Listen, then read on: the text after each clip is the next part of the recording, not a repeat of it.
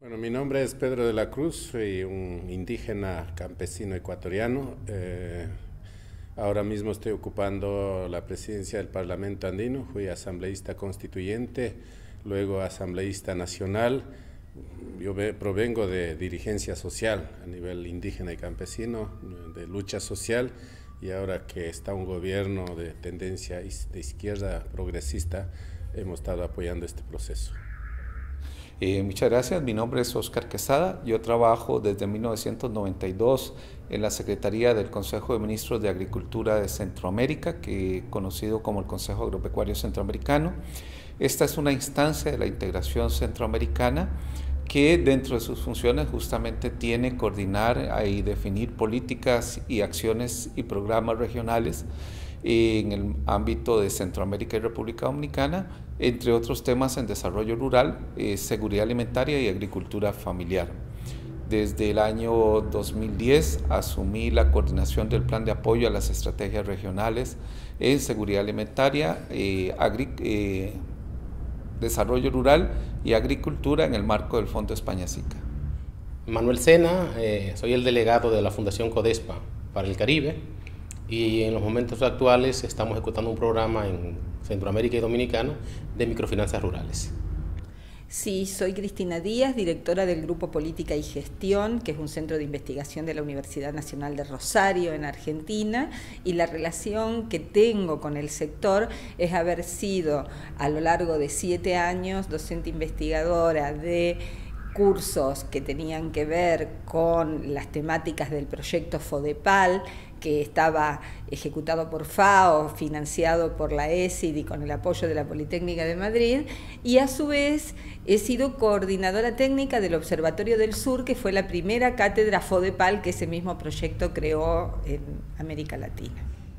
Soy Amador Gómez, soy el director técnico de Acción contra el Hambre, una de las organizaciones líderes en la lucha contra el hambre en el mundo.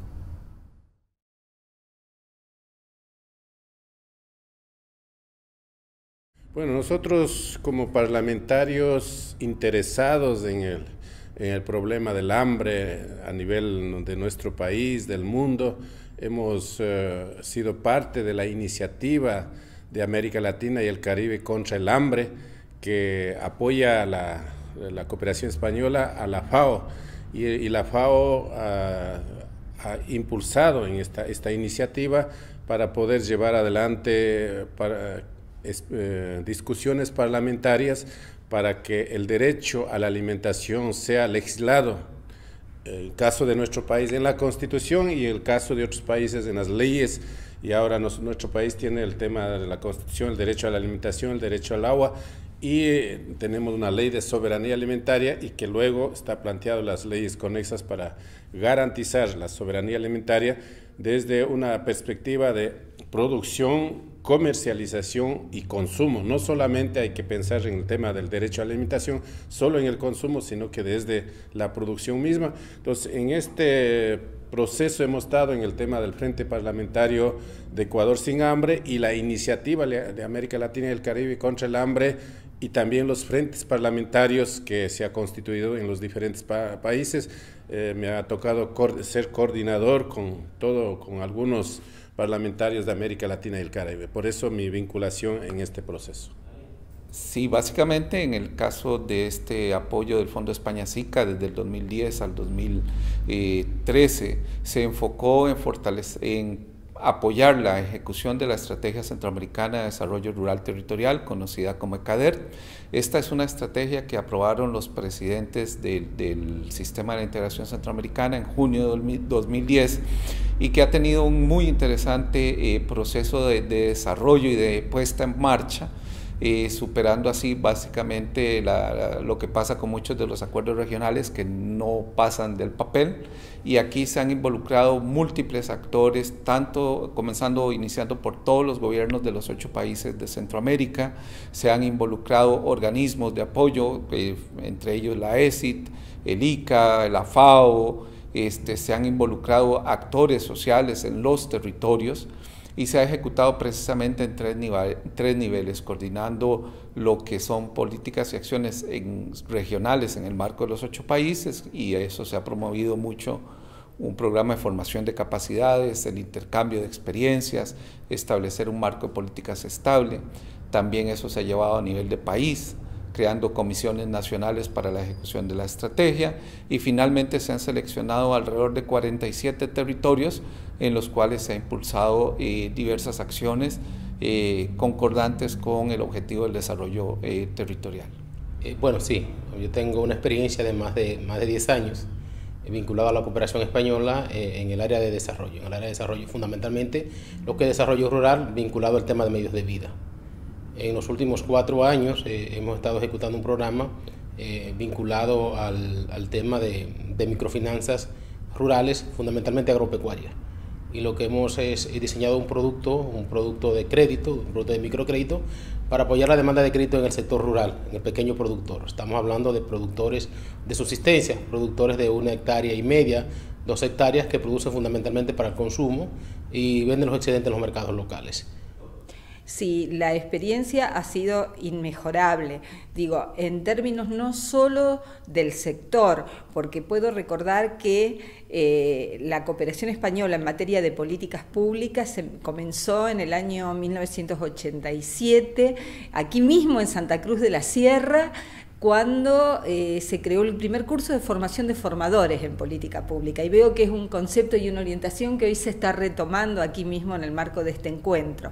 Y por otra parte, eh, la cooperación española mm, localizó, focalizó y desarrolló capacidades que hoy nosotros podemos eh, transferir a otros dominios de práctica, que han hecho sustentable esa cooperación. Y creo que en eso es pionera también. Bueno, llevamos trabajando en América Latina en los últimos 20 años eh, y desde Acción contra el Hambre trabajamos para diversificar los medios de vida, pero también para, para recuperar la, la, desnutrición. Trabajamos tanto para, para, luchar contra la desnutrición crónica, la anemia y también la desnutrición aguda. ¿Podría sugerir una línea de actuación que le parezca que haya sido especialmente relevante en la aportación para la cooperación española sobre el sector? Yo creo que el trabajo que ha venido haciendo la, Agencia de Cooperación Española a lo largo de los, últimos años sobre el fomento del derecho a la, a la alimentación y la búsqueda de, de dignidad a través de la nutrición.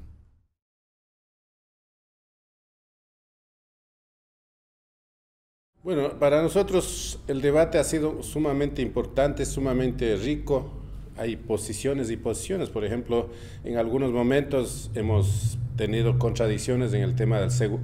una propuesta de seguridad alimentaria y la soberanía alimentaria, en algunos momentos pueden ser complementarios, pero desde una visión de una alimentación más sana, más orgánica, más agroecológica, eh, se ha planteado desde la perspectiva de soberanía alimentaria contra eh, los agronegocios, porque eh, para otros, para los empresarios, lo que importa es acumular capital y no, no importa qué tipo de alimentos se pueda dar a la ciudadanía. Entonces ahí hay un debate, ha sido muy rico en, en los espacios parlamentarios, en los uh, foros que hemos hecho para, parlamentarios, en donde se ha, en algún momento se ha logrado confluir eh, estos dos conceptos que vienen de diferentes tendencias a nivel global. Bueno, básicamente eh, continuar reforzando el marco institucional de, del diálogo para el desarrollo rural,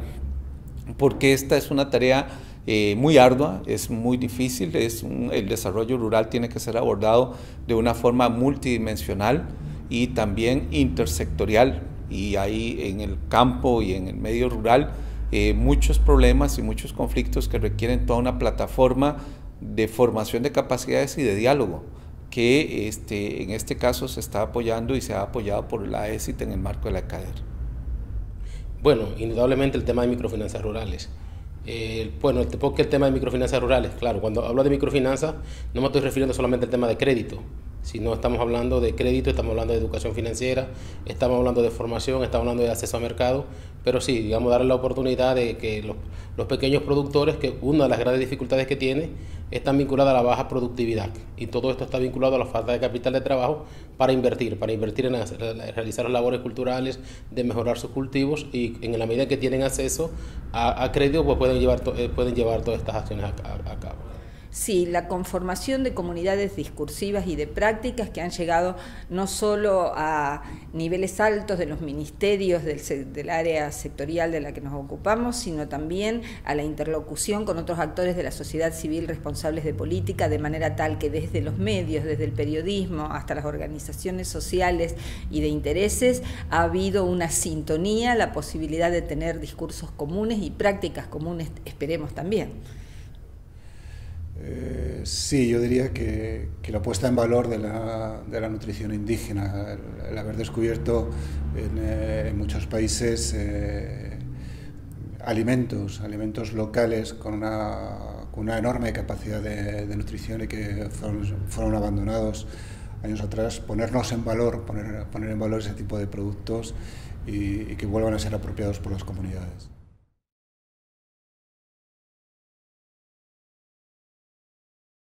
Bueno, hay muchas anécdotas. Por ejemplo, hemos tenido una discusión dura, ardua con Cardoso, que es de Uruguay. Tiene una tendencia de ideológica de derecha, yo tengo de izquierda, soy del, del socialismo. Entonces ha habido un debate fortísimo, hasta casi nos fuimos de palabras gruesas, pero ahora somos grandes amigos. Eh,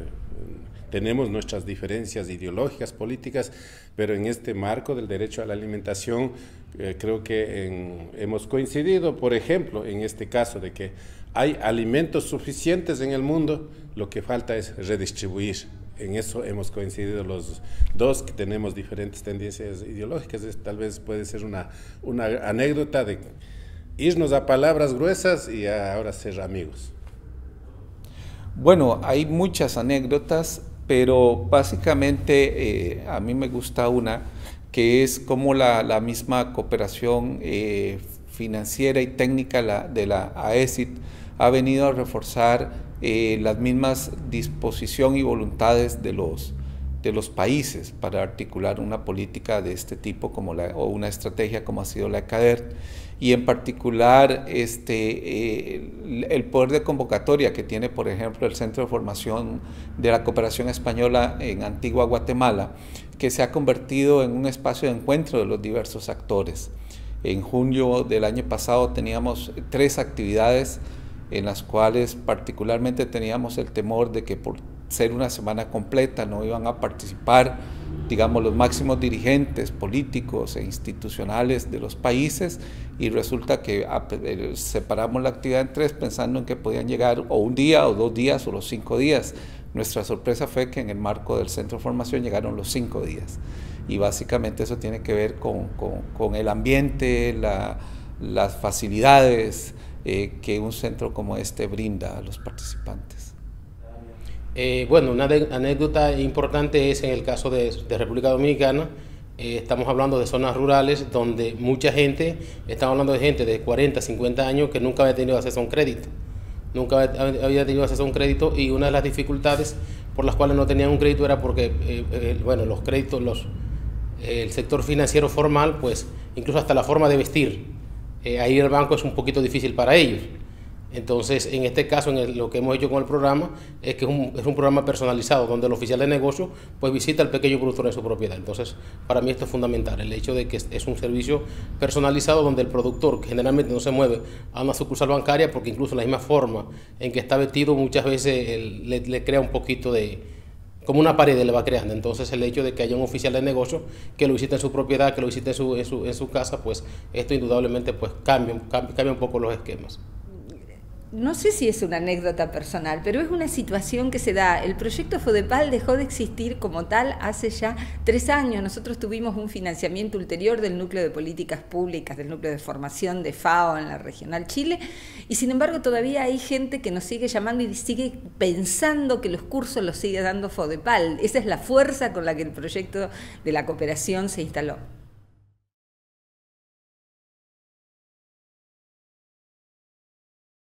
Yo sugeriría de que se,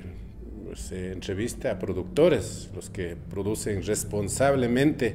no simplemente pensando en el negocio, sino que pensando en la salud, en el bienestar, en la sana nutrición de los pueblos. Entonces sería importante que algunos productores puedan dar su versión sobre la producción de alimentos y algunos parlamentarios que ha sido uno de los ejes de formación de, este, de, los frentes parlamentarios como un parlamentario brasileño. No sé si ahora es parlamentario Nazareno Fonteles, uno de los que también ha sido pioneros de esta de, llevar adelante las políticas del derecho a la alimentación. Más aún, Brasil ha sido uno de los países que ha tenido política de hambre cero, con lo cual ha dado una respuesta a los objetivos del milenio, que es reducir el hambre en el mundo. Sí, bueno, en, el caso de la CADER hay una instancia que es la Comisión Regional para la CADER, que está integrada por dos representantes de cada uno de los países de, Centroamérica y República Dominicana, uno de la sociedad civil y uno de los gobiernos. Pienso que algunos de ellos podrían ser eh, voceros directos de, lo que ha sido todo este proceso y del apoyo que se ha recibido la cooperación española. Eh, sí, bueno, miren, en Dominicana está, en este caso está Mercedes Canalda, que es la directora de nuestro socio local en, Dominicana, que, con el que estamos ejecutando el programa, y está el doctor Jesús de los Santos, que también es otra de las personas de los socios locales nuestros en Dominicana, que también estamos llevando a cabo toda esta, toda esta iniciativa. Sí, en, Argentina podrían consultar al director del Observatorio del Sur, del cual yo fui coordinadora técnica, que es eh, el médico veterinario y magíster Eduardo Spiaggi, que ha realizado también otros trabajos con la cooperación española. Y por supuesto también me parece que a las personas que estuvieron desde el inicio en el proyecto de cooperación del que yo formé parte, como Santiago González Alonso y Manuel Recuero de la Politécnica de Madrid en España. Ahora mismo no me viene ningún nombre a la cabeza, pero seguramente cualquiera de, las, de los líderes comunitarios de, la multitud de comunidades que apoyan los, programas de, de, la Agencia Española de Cooperación.